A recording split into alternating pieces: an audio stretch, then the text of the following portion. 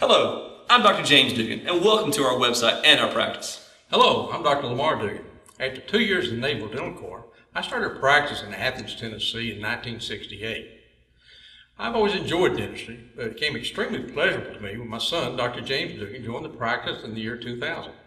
We are very excited about today's dentistry and the future of dentistry. I've also been very fortunate to have my mentor and a dental staff that I've grown to know as family. We at Dugan & Dugan would like to provide the most comprehensive, highest quality dentistry in a general practice setting.